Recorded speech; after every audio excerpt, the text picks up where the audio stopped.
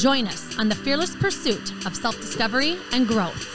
This is Ivy Unleashed, a Gold Ivy production.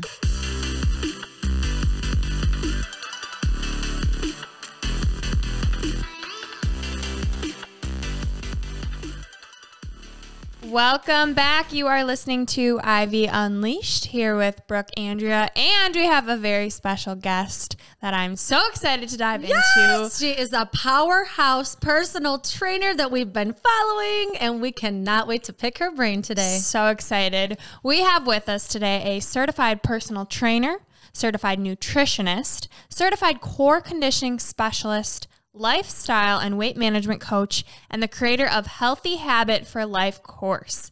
So, Kat Loya, welcome to Ivy Unleashed. What is up, you guys? Thank you so much for having me on. I am just as excited as you guys are. You are phenomenal. And just thank you so much for taking the time. Yes. Oh, we're so happy you're here. And I love that you are in the best environment outside and inside. Can you explain where you are in the world right now?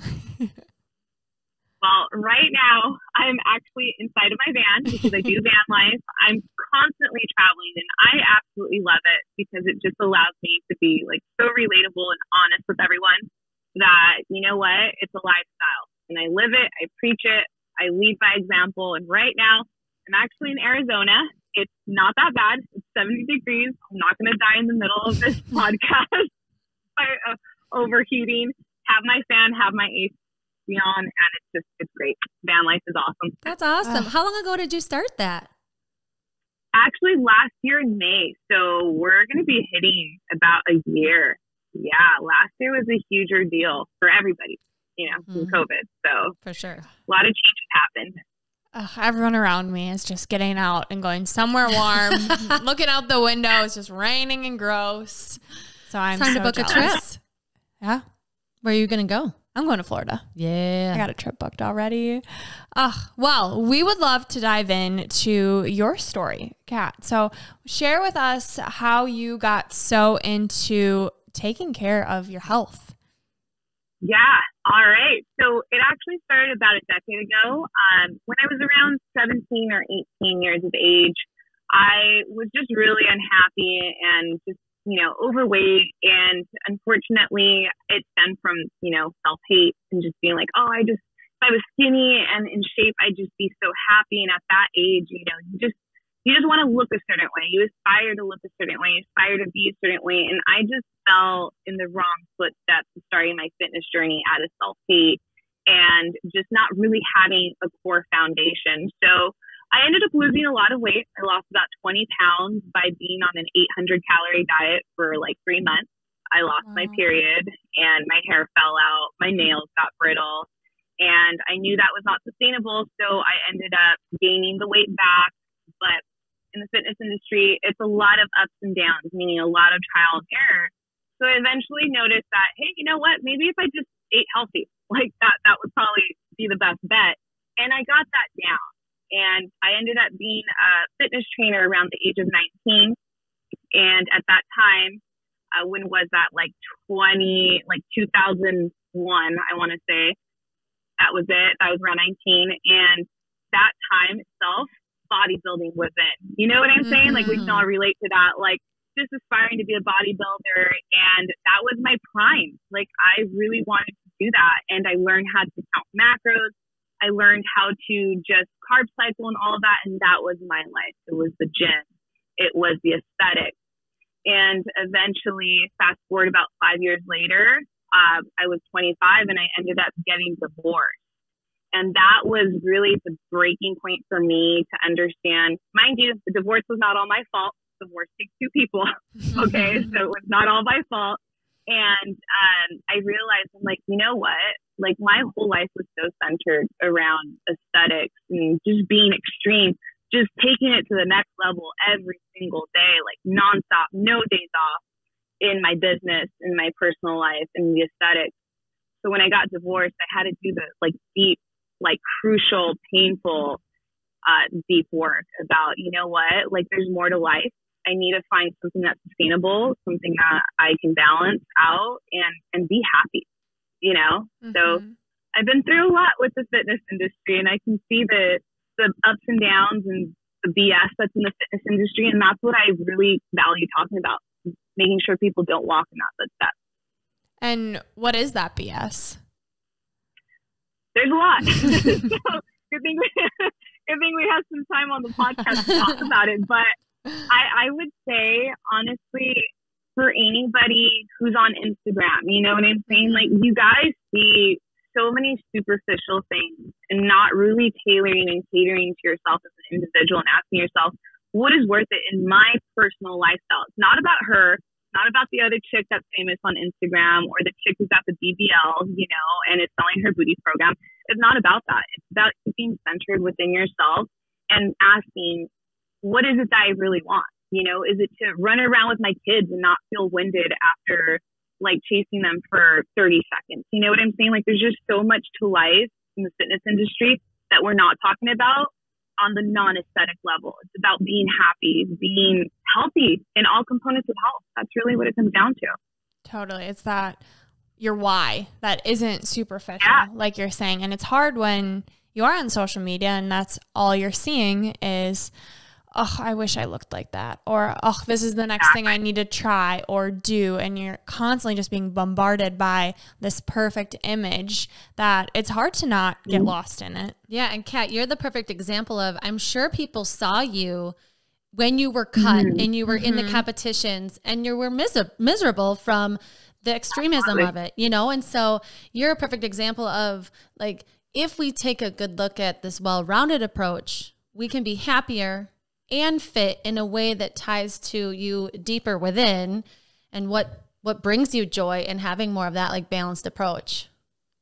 Oh 100% you know and i think that's just something that we don't talk enough about.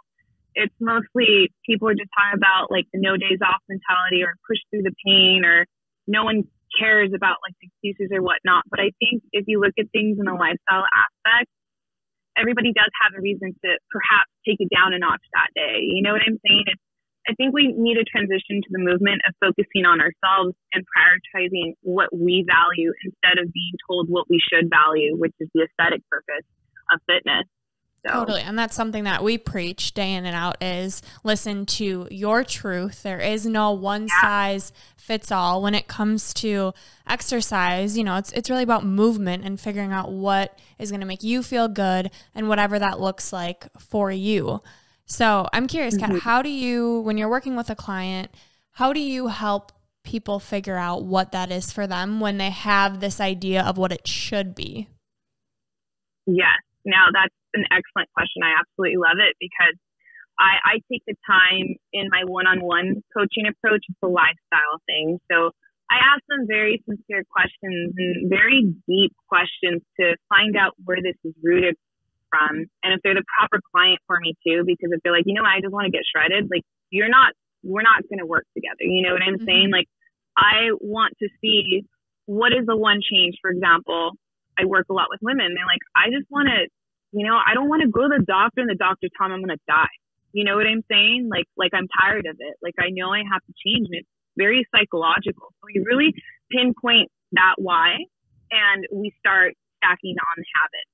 We focus on, on something that's super, super easy and that gives them the momentum to see, hey, you know what? I got this. Like I can add something else on, you know? So I have to do a lot of internal work in the very beginning. Just mostly it's starting off with anybody's why. And that why needs to be like the emotional aspect, not the physical. Mm-hmm. Yeah. And I think thinking about the doctor and thinking about what exercise means for those numbers. You know, we, we talk a lot about like it benefits your health and well being, but we haven't really dove into the science behind exercise. I know we've kind of talked about that with you. Um, can you elaborate kind of why this is so important on a scientific level and, and what exercise does for you as far as you know yeah. your inter- internal numbers and things like that? Yeah, of course. So I only work with women. Um, I used to work with men back in the day, and, it, and it's just full around, full spectrum, male or female. We have to exercise. I mean, uh, it just helps all together in your aging process to make it not so bad in the sense of for women, osteoporosis, for example, we're very prone to that. And the only way that can really help bone density is by building muscle, working out, every single day. And most importantly, the mental aspect of just having a clear mind and being able to show yourself that you can stay committed. So all around, it plays hand in hand. Exercise will help you physically feel better, your whole body, you know, effortlessly if you just, for example, start walking. A lot of my clients who start off walking because they don't know what to do at a gym. Week two, we tackle that. But um, they start to feel better, which will force them to do more. And then they can tackle on the nutritional aspect. I love that.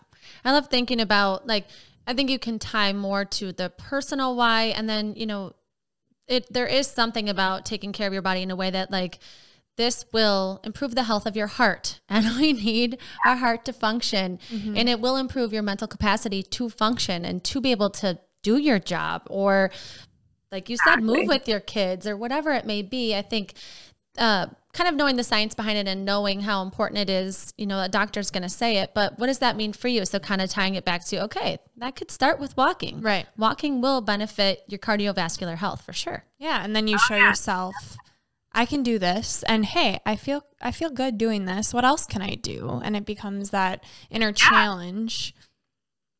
Exactly, because uh, I think where a lot of trainers fail is that they give their client 20 different things to do. In the beginning, it's like after I, you know, ask them, hey, like, what is your actual goal? I take the time to really be like, you know what, this is the most important thing. So that way I know she has momentum to do more next week and she sees the progress. She can do a little bit more on the third week and then a little bit more on the fourth week. I think um, sometimes trainers, they just put too much.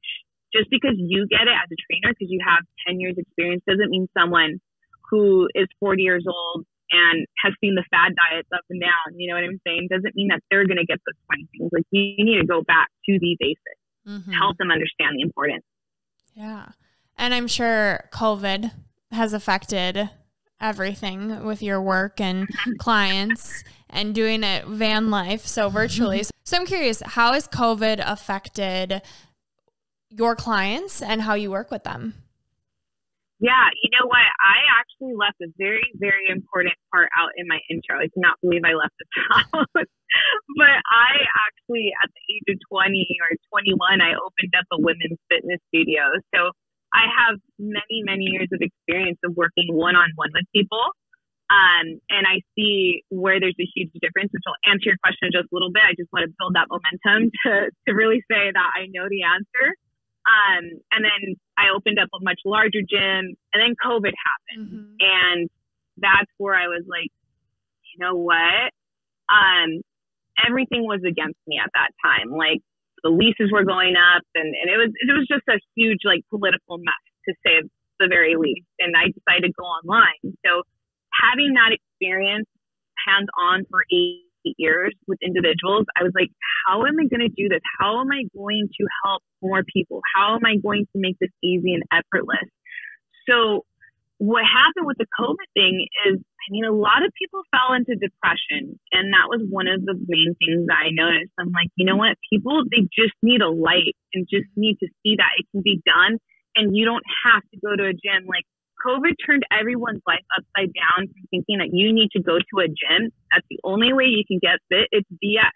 It's absolute BS because this past year we've shown if you want to overcome it, it's going to happen. So that being said, when it comes to the whole COVID aspect, it was about giving people easy tasks to just get them up. Mm-hmm. Because there were times where people were just in bed. I don't want to do anything. The world's going to end. I might die. You know, like everyone had those questions. So if you just kept it a very light task just to get them up, to commit to themselves, the way I say it is master the art of showing up for yourself.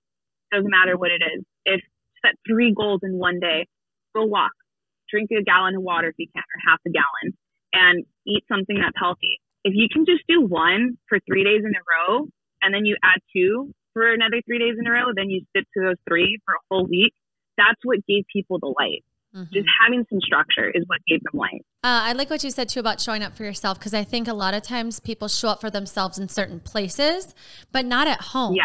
You know, home a lot of times before COVID was a place to relax. It was mm-hmm. like you mm-hmm. get home and you just sit on the couch. I mean, if you don't have kids and or you're older or younger or whatever, like you go home yeah. and you'd park it because like you've been running around all day and yep. you went to work and then you finally get home, you eat your dinner and then you relax. And so to have that place yeah. be all of a sudden, oh, this is work. where I work out now. Yeah. And this is where right. I work.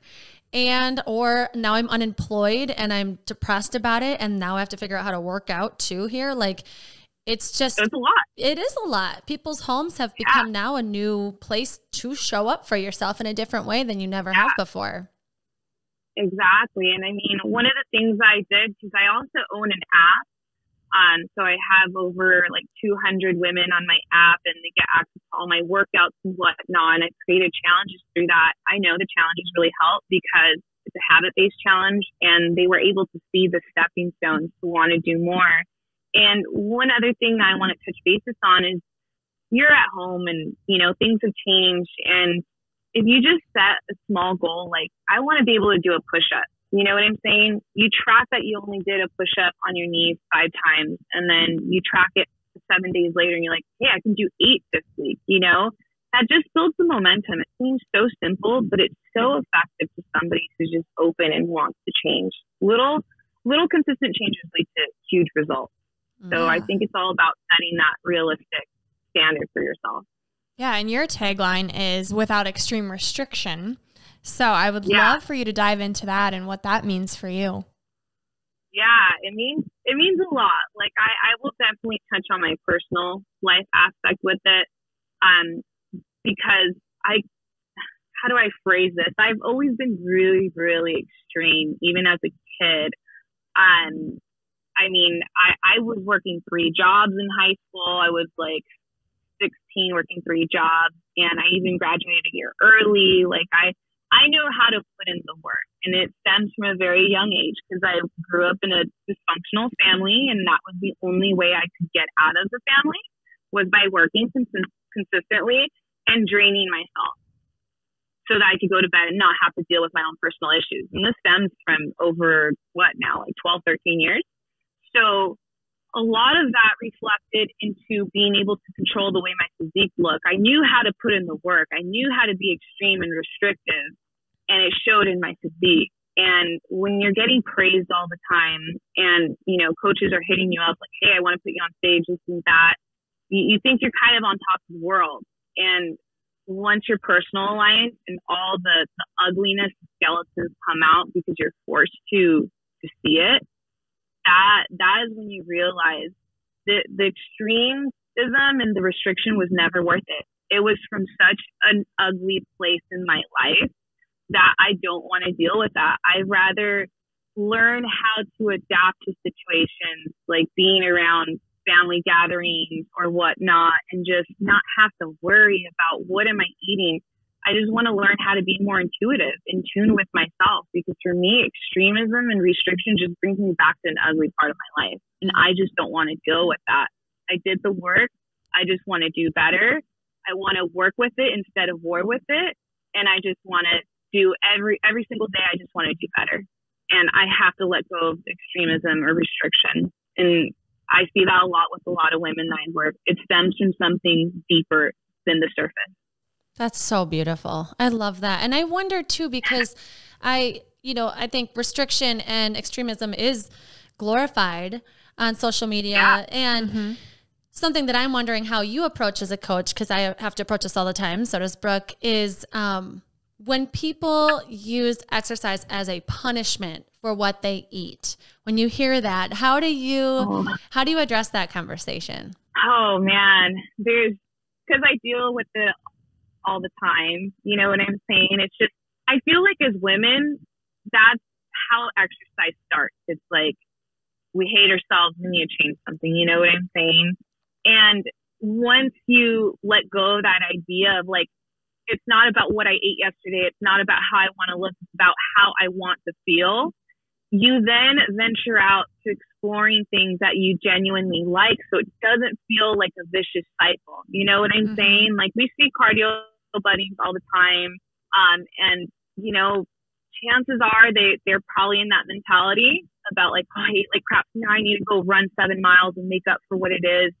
and they absolutely hate it. If you just ventured off doing something that you genuinely liked and took aesthetics out and took the food or burning calories out of the equation, you will be so much more consistent in the long run instead of going back and back in that vicious cycle of binge eating, then trying to burn it all off. If you just were consistent and happy in one point of your fitness journey, it will flourish into the other components that you're really lacking. So yeah. I always tell people do something you love, yeah. something you're consistent with. For people who don't know what they love, how do you recommend mm-hmm. they find that? Because a lot of clients are like, I hate exercise. like I do it because I know that I know that it's gonna help, but I hate it. Like any movement, ugh. yeah. No, no, that that's very true. Um, I do get that question a lot, but anything that just has piqued your interest, tiny little piece of interest, just go out and do it. But commit to it. Like say, you know what, I'm gonna commit to this for a week and within that week you'll have pretty good judgment. I would say more so two weeks let, us just say two weeks, you'll have pretty good judgment about like, can I do this for a while? Like, is this consistent for myself? And if not, then jump to the other thing that has piqued your interest. And if you think about it, if you did that for two weeks, both of them, that's four weeks of exercise that you've been trying. And you're going to see that, whoa, I see a difference. Like, I feel better. I'm not bloated anymore. And that just seeing that you had some pieces of results is what's going to actually pique your interest to want to do something in a committed level. So I say peak interest, do it, commit two weeks, and you trust me, you, you it will give you momentum to do. I promise.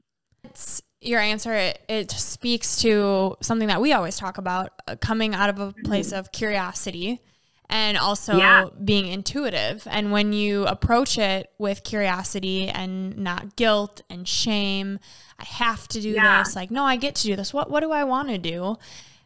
And yeah. it helps you become more intuitive of okay, how did my body feel? How did this make me feel? Which is I think exactly. it's a hard it's a hard mindset shift. It's easy for you to say, well, right, like yeah, you should do that. So I'm yeah. curious, Kat, when you say, you know, you did the work and sounds like that was the exact mindset shift that you had. What did that work look like for you? So the work was post divorce for sure. I knew I had to do therapy. I don't think therapy, I don't know why it's a taboo to talk about it or whatnot. I mean, we talk about exercising. That's a form of therapy, not mm-hmm. mental necessarily, but I did the work in the mental aspects. I went to therapy for, I would say, about eight months. I felt pretty good at the eight month mark. Um, I don't know why we didn't talk longer, but I know that COVID had something to do with it. So um, yeah, I had to really get down to the nitty gritty, and a lot of these things like stem from my childhood because I acknowledged the fact that I was always extreme. And and um, long story short, my divorce ended.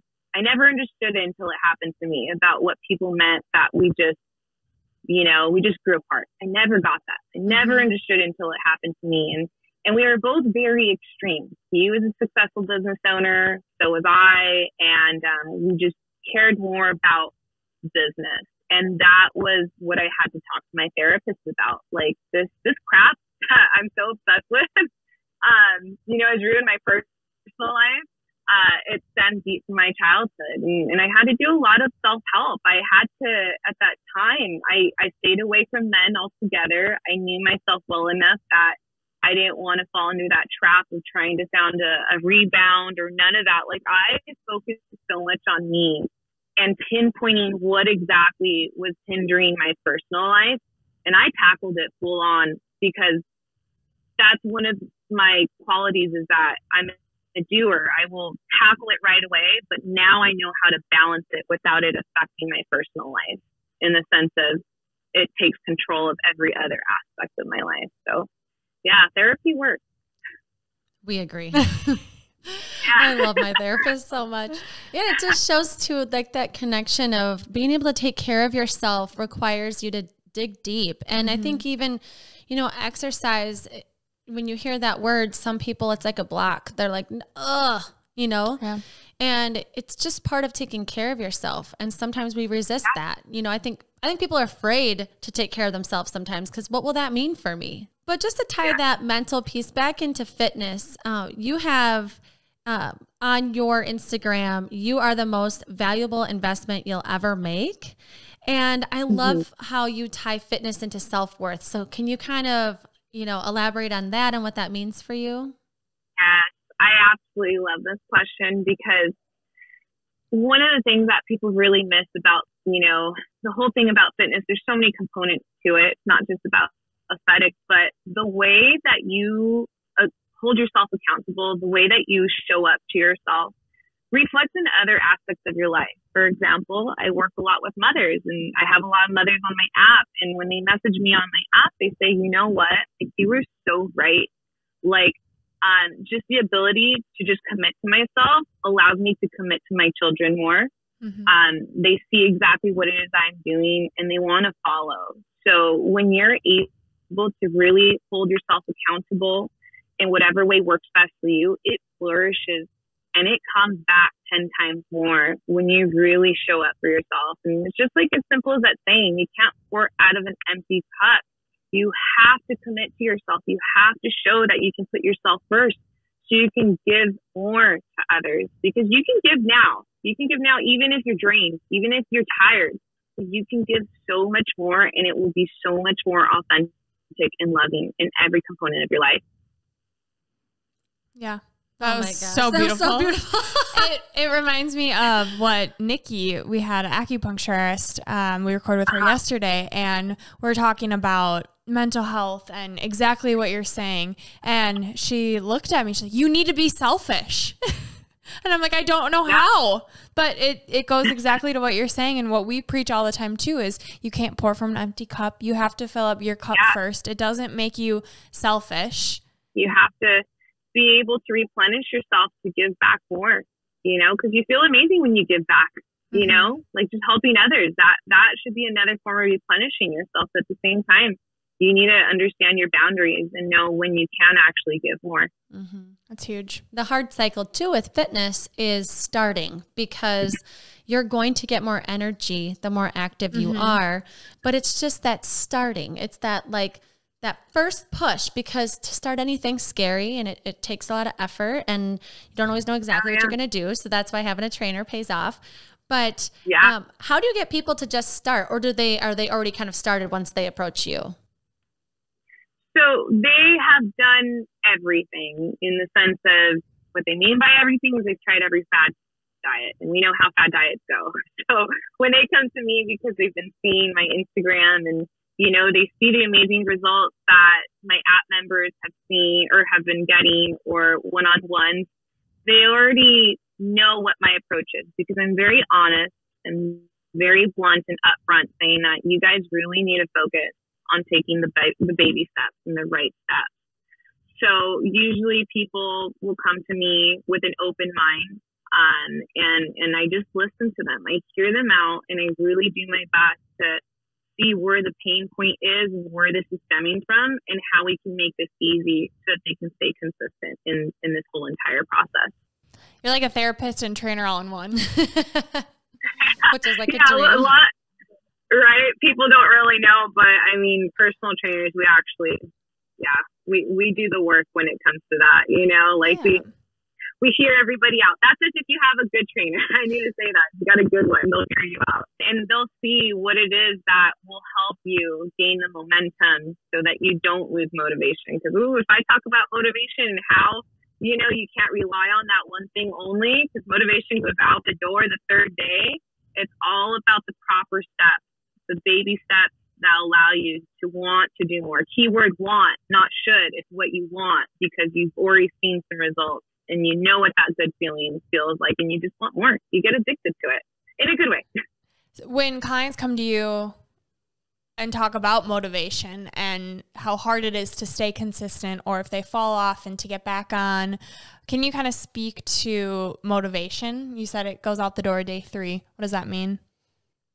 Oh, yeah. Um, motivation gets the ball rolling, but consistency and having a plan is what will keep you going, even on the days that you're like, you know, I just don't want to do anything. And this is why, whenever a client has some issues, for example, life happens. I'll talk about one of my current clients right now.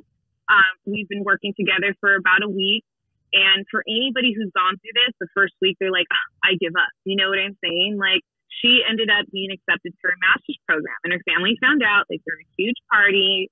Her workout went out the window because her family had a surprise for her.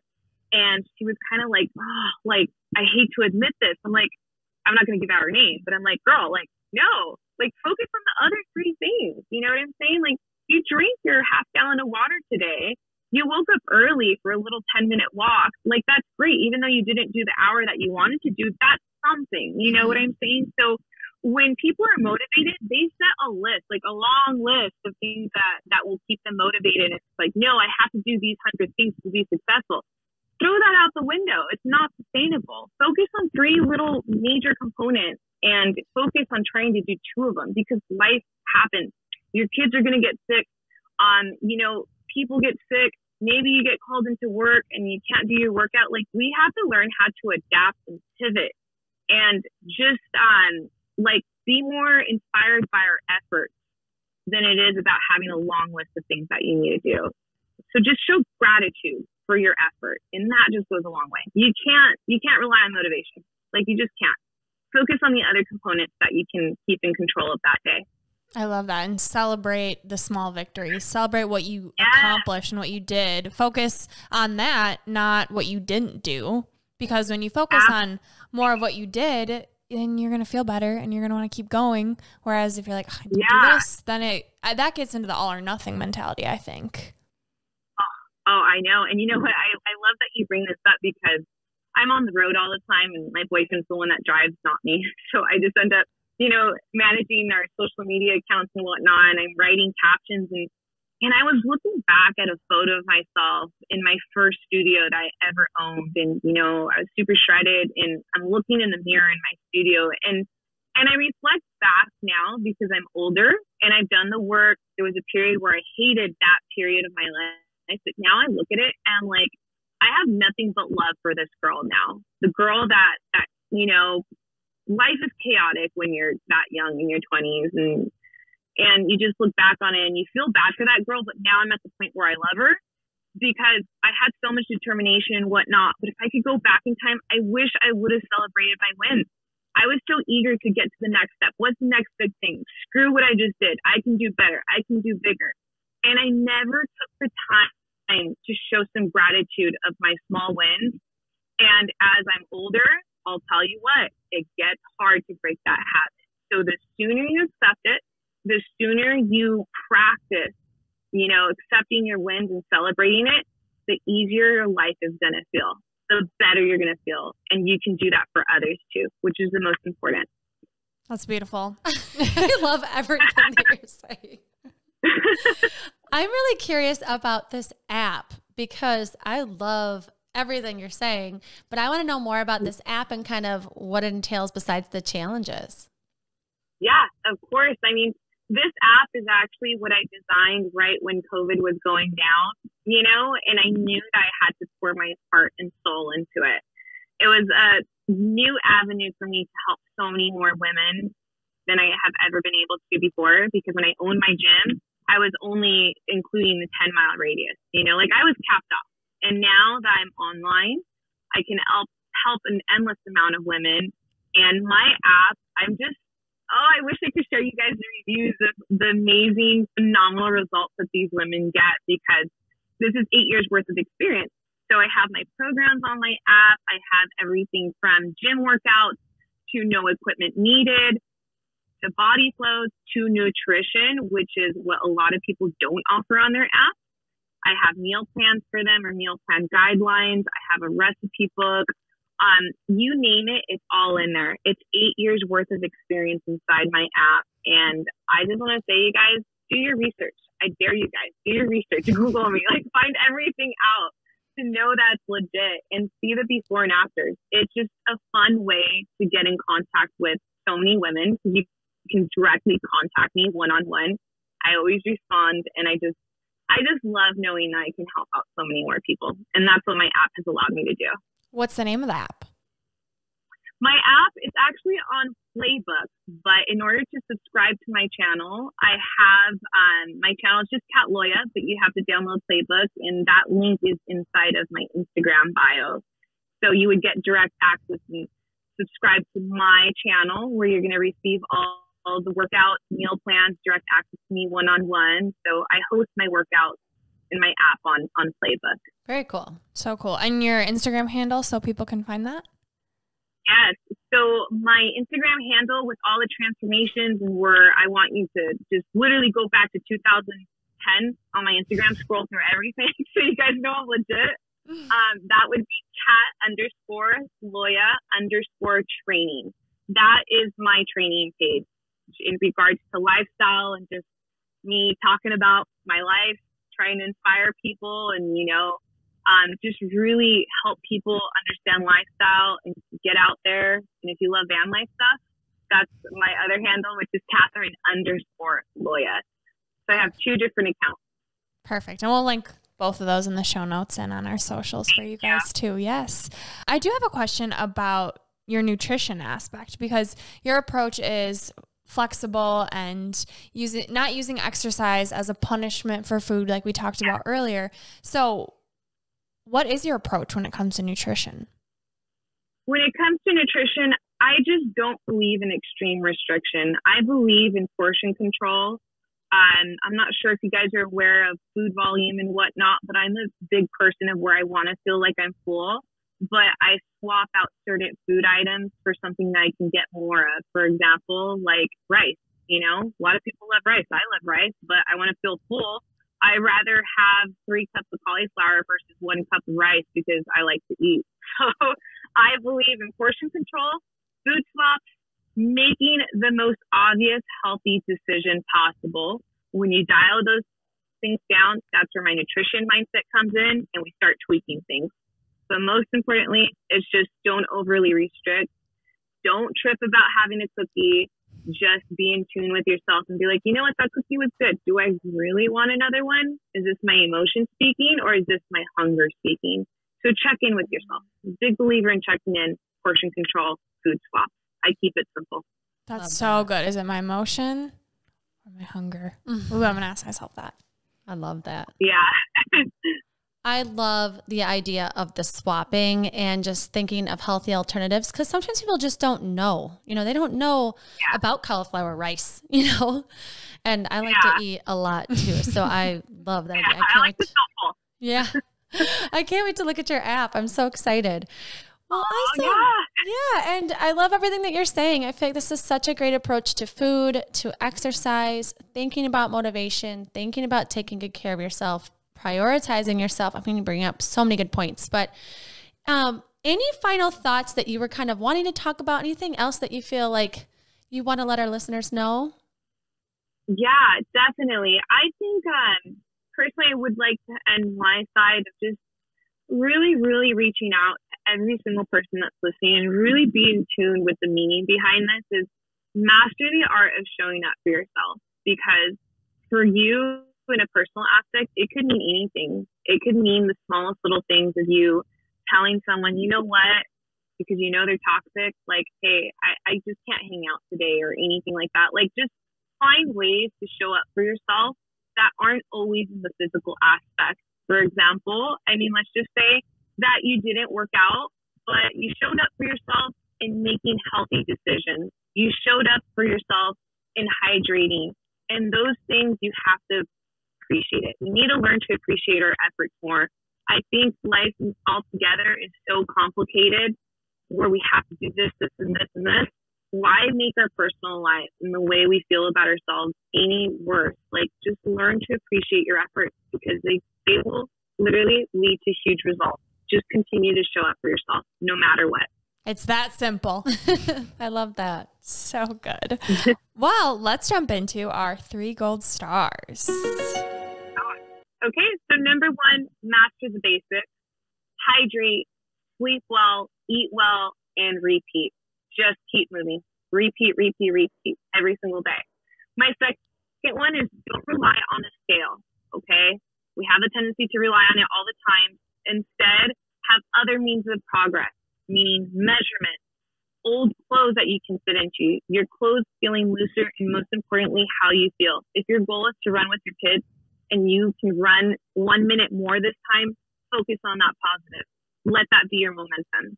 And then my third gold star is probably the most important one. Let go of the perfectionist mindset. Let it go. Okay. It's not going to make your life any easier. There's no such thing as being perfect. Instead, focus on what's sustainable and obtainable for that time period of your life because life comes in seasons. There's going to be some points where we can focus a little bit more on this aspect, and there's going to be times where we need to dial it down. So focus on what you can. So good. Mm-hmm. So good. Love all three of those. all right. Well, next segment is Unleashing Ivy. So these are our three rapid fire questions. Are you ready? Yes. Okay. Number one, Kat. Favorite way to center yourself? To be honest, when I wake up in the morning, I just think about what can I do today in the sense of that's going to make the first part of my day feel so good to give myself that momentum for the rest of the day. So I think it starts the first thing in the morning to show some gratitude that you're alive um, and see what it is that you can impact. So just, being able to help others. I take a lot of pride and happiness in responding to my clients and seeing everybody's progress. So just being able to, to focus on me first thing in the morning and then know that that's going to make me want to give 110% to my other clients is what helps me center myself. Just knowing that I'm making an impact. Beautiful. Next, when you're struggling to get motivated to move, what's one thing that steers you in a positive direction? Ooh, I love that question because I think a lot of people will definitely benefit from it. Um, I start off with something super simple. If I'm having a really crappy day and I just, you know, I'm just not feeling it or whatnot, I will force myself to do something small. And when I'm doing that movement, when I'm in that zone, I realize in the middle of it, you know what? I can push myself. I can do this more. I can I can actually do it. So it's just about taking that first step, realizing, you know what, if I do something small, it's going to lead to something bigger. So let's figure this out. Let's just do it. Start small. Love it. All right. And last yeah, question What's one thing you wish you would have known sooner? Oh, man. Can we have another hour for the podcast? um, one of the things I wish I would have known sooner is a bikini body does not mean I want to say the S word. I don't know how you guys take that, but you guys all know what I mean now. okay. It doesn't mean anything unless you really focus on what's in here. Because at the end of the day, um, the way you talk to yourself, the way that you do things for yourself, if it's not stemming from something from the heart and only coming from the aesthetic purpose, it's kind of a setup for failure. I'm not saying that everybody's going to go through that, but the statistics are out there. It's pretty high. Okay. There's no denying it. But I just wish I would have focused more on true health than aesthetics. I wish I would have learned that way sooner than the way I did. Such an important message. Uh, everything you say is so much gold. We love that you're here. You inspire us all the time. And we're just so thankful that you took the time for us, for our listeners. And um, we always wrap up our show with a piece of gold, uh, which is a quote that can inspire audience. So, do you have a piece of gold you'd like to share? Yes, it is actually, I titled my challenge this. It's called Be Resilient AF. The reason why I love that is because everything in your life will teach you so much resiliency.